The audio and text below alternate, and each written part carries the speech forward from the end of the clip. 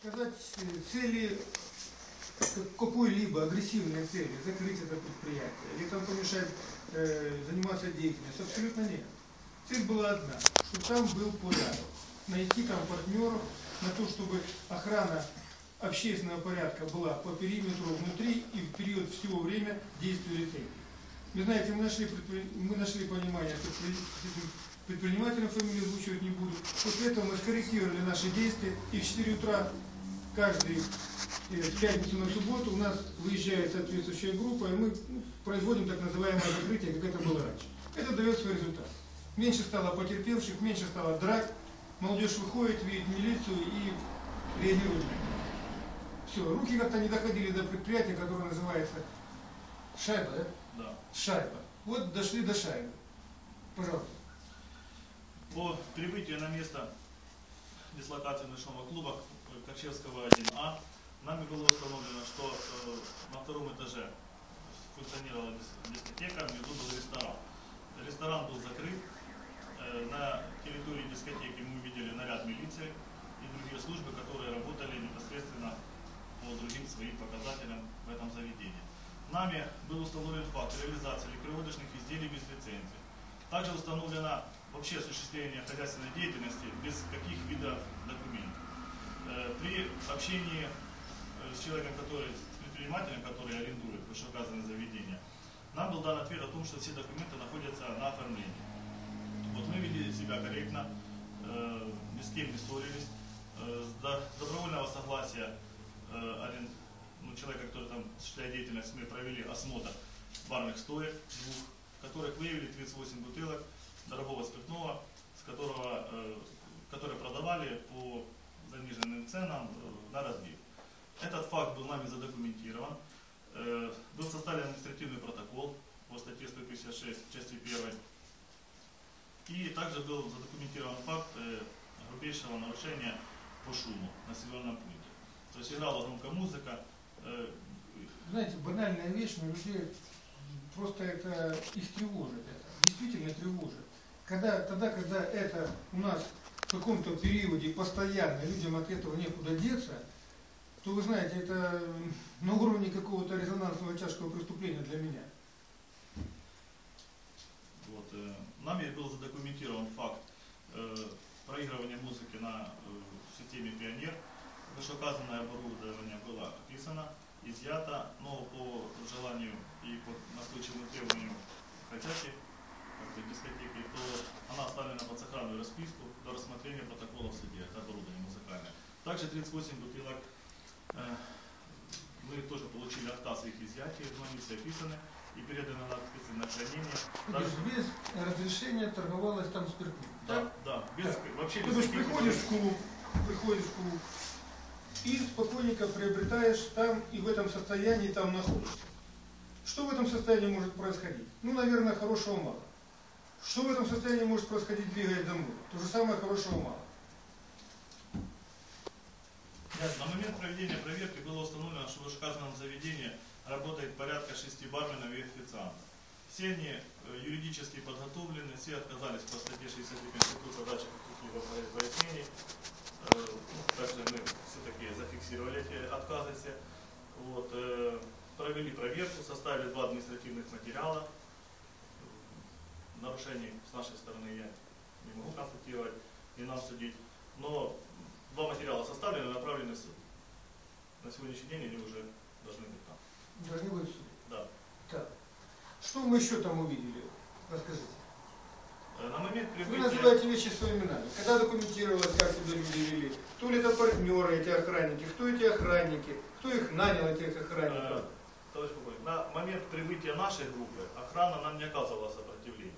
То есть мы представили сотрудниками милиции, прошли, нас пропустили. Даже наоборот попросили, помогите быстрее, наверху идет какой-то конфликт.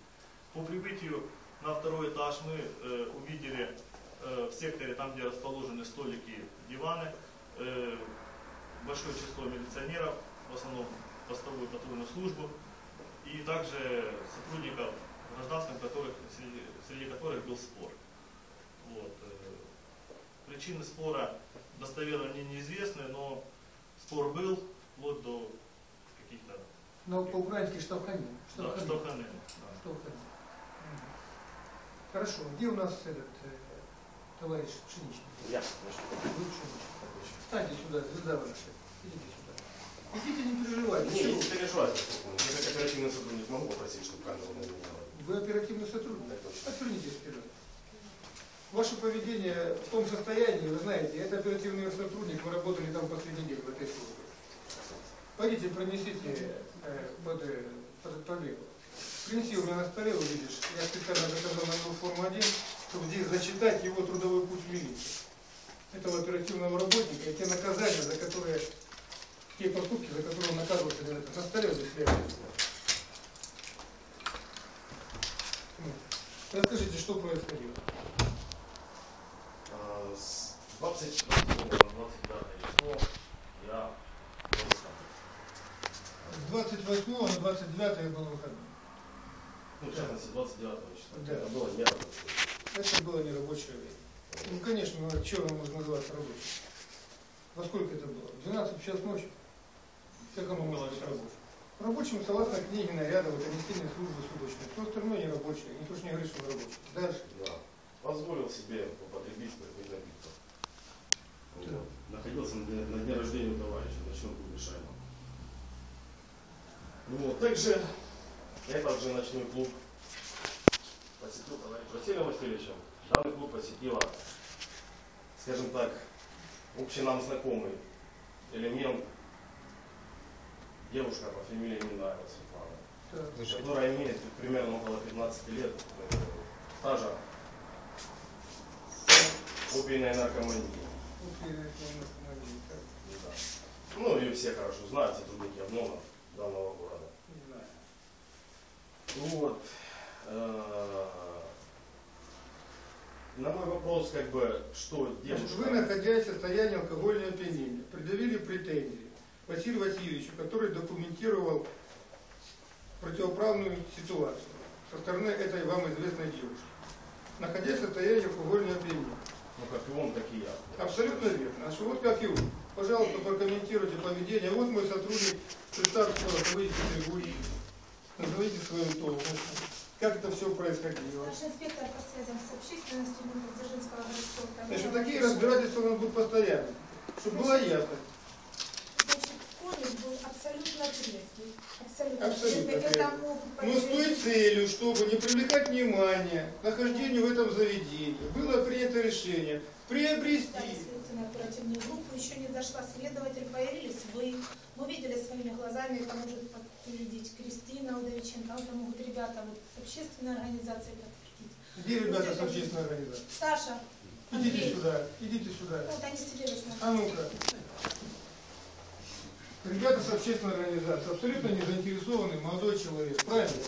Не боится никого, смотрит в камеру и говорит жителям города. Так, что происходило, пожалуйста, расскажите. Кто вас вообще куда привлек? Ну, по собственной инициативе О. э, помогаем милиции. По собственной инициативе помогаем милиции. Содействие. Так, что вы наблюдали? Вот именно по конкретному факту поведения работника милиции. По конкретному факту э, работников милиции, то есть сотрудник Обнона Василий Васильевич э, подошел к этой девушке, о чем, ну, то есть проверял ее состояние, проверял содержимое ее кармана, подошел С ее согласия. с ее согласия, да, непосредственно. То есть э, о том, о, о употреблении им спиртных напитков я категорически не согласен, потому что даже официант, которая подошла к нам и настаивала на том, что то есть тот коктейль, который он заказывал, Ну не может не может быть спиртным, не может не конюх быть употреблять спиртных, равно- абсолютно да, верно, не- потому не что совсем задача. И потом, то есть после того, как прибыла оперативная группа, уже как-то Уже как-то этот конфликт был Да. исчерпан, да? Все, вы подтверждаете? Подтверждаете. Вы житель этого города, да? Да. Все, представьте, пожалуйста. Я имею право добавить. В материалах служебной проверки в объяснении добавить. Значит, что у нас гражданин X, работник милиции? Значит, я вам докладываю для всех жителей города. С 2007 года он находится в милиции, до этого он учился, закончил учебное заведение. Значит, при мне уже, скажу откровенно, ну, каяться нужно и в ошибках в том числе. Совершена ошибка по настоянию некоторых руководители, было принято решение с административной службы, где он работал участковым инспектором до 2013 года, до июня месяца, было принято решение привести его в обновь. Потому что по информации, якобы он в течение там, трех или четырех последних лет занимался очень хорошо и профилактировал эти, эти отношения. Так вот, я специально взял сюда официальный документ, показать его не могу, потому что здесь фамилия будет его. Довидка. Так вот, в 2008 году наказание, так, смотрим какое, Дагана, он и выходе на службу. Это было 24.07. 30.03.2009 года. То же самое. Дагана, он и выходе на службу. 6.04.09. Что у нас? Дагана, Сувора, он и выходе на службу. І пошло. За невиконання службових обов'язків, неповна посадова, запізнення на службу. І, д- е, пожалуйста, 7.12.09 запізнення на службу без поважних причин, безпідставне ставлення до виконання службових обов'язків, а саме невихід на службу без поважних причин, клопотати перед керівництвом ГУМВС в області про звільнення з органів внутрішніх справ. После этого идут еще ряд взысканий, но почему-то в 2012 году, оставить в 2012 году, у нас взыскание заканчивается. Может быть, стал на путь исправления. Может быть. Но глядя на поступки, которые совершаются, есть сомнения в пути исправления. Дальше. Значит, по имеющейся информации, я знаю, изложено на, на сайтах в интернете о том, что якобы этот сотрудник, да, то ли ложил, то ли забирал сброю сечей. У кого такая информация есть? Николай? Николаевич, пожалуйста, вы Николай, своими пожалуйста, выйдите сюда, не стесняйтесь, прокомментируйте ситуацию, чтобы мы уже поставили всю точку, назначили служебное расследование, и я вас проинформирую. Пожалуйста. Николай Николаевич Кривошеев. Скажу вам откровенно, э, сложились у нас отношения на почве объективности, в разбирательствах по всякого рода с жалобам на действия работников милиции, в первую очередь работников ГАИ. Буквально с недавнего времени мы ввели такую практику. Любая жалоба на действия работников милиции выставом служебного расследования будет э, согласовываться с этим общественным... Ира, сколько вы арендуете уже? Месяцев, лет? Я арендую на протяжении года. На протяжении года арендуете это помещение, да? Осуществляете деятельность. Пожалуйста. У меня есть видео, которое доказывает, что не знаю, как зовут женщину, которая в форме сидит в зале.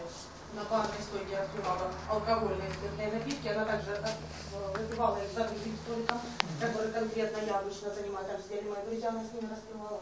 И вот молодой человек, который мне угрожал. Не знаю, я его первый раз вижу в этом свете. Он оказывал на меня давление. Сегодня нет этих фактов. Предоставьте нам, пожалуйста, чтобы мы могли еще раз... Тут Я вопрос, снимать, я бы сегодня. вопрос стоит в объективности. Здесь никто никого не хочет оговорить, либо сказать, что что-то плохо или чересчур плохо, на то, когда оно есть хорошо. видео, только при У меня к вам, у меня к вам единственный вопрос, единственный вопрос по факту, пользуясь случаем. Вы торгуете спиртным, не имея на то разрешения, раз. Вы должны работать до 23 часов, вы работаете ночью, два. Все, больше у меня к вам вопросов Мы нет. Оформляем все документы. В это время вы работаете. Так?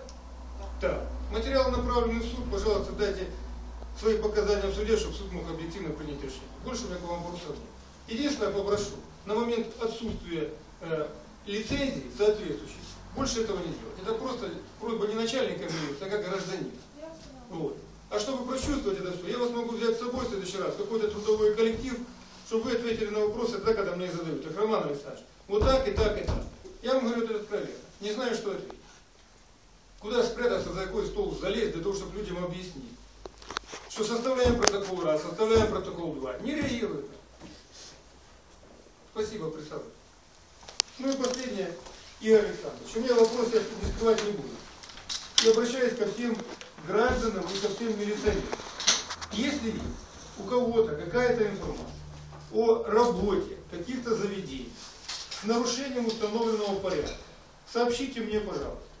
Пользуясь случаем, вот я хочу здесь вот официально при всех гражданах и жителях города предупредить начальника милиции и обратить внимание остальных начальников милиции на подобные объекты, которые работают в течение года круглую ночь, круглую ночь и при этом оформляют документы. Что мешает милиции работать и документировать это?